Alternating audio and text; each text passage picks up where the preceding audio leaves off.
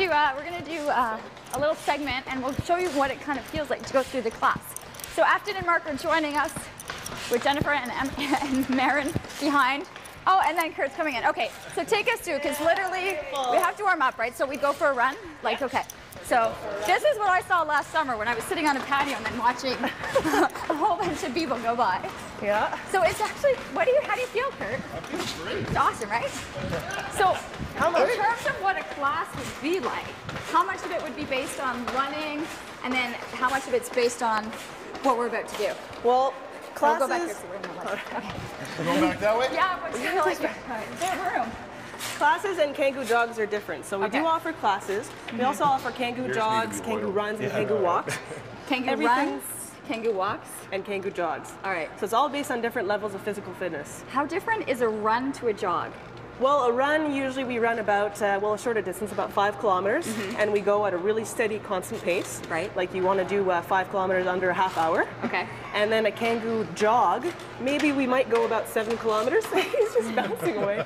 Seven kilometers and go at a slower pace. We might even stop as well, do some plyometric squats, do a couple like ab exercises and stuff. Okay. And then a walk is more of like really just a walk, good for families and el- older people. Now, what people need to realize is just standing, you're engaged, Yeah, right? sure. Like, Your core is automatically engaged. It actually improves your posture as well. You'll find that you know a lot of people's back problems and stuff like that. It stems from bad posture. So these improve that and kind of uh, uh, correct supination and uh, pronation as well. Now, Mark, you were a na- you were you were like the neighbor that saw these girls coming out and that right? Yeah, literally yeah. went, "What's going on?" Well, it was hilarious because we uh, we live in a condo, right? And so one night I just hear like all this like Bounce, bouncing up and down in the hallways, and I'm like, what's going on, right? So you, you come out and you see these things and you just want to try them, right? Yeah, and yeah. I, Yeah. I was hooked like the second. I Is put that right? Hooked Yeah. it the minute you tried Yeah. them on, I- I much was like you. I was hooked the minute I them on. couldn't wait for Yeah. this day, and now you're, you're getting a pair of these I am. I'm getting a pair. Okay, so, so take us through other things that we would be doing.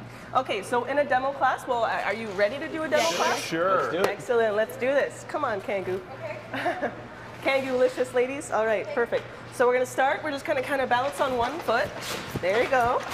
Then we're gonna go into old soccer and football drills. We're gonna do the high knee, I need. high knees. So bring those knees up, come up. There you go. Then we're gonna work on our hamstrings. So touch your knees with your heels. Oh, yeah. There you go. A little bit of that. then we're gonna go into the doubles. We're gonna go out, in, out, in. And if you want, you can even incorporate the arm movements here. Out. Add get the heart rate going more.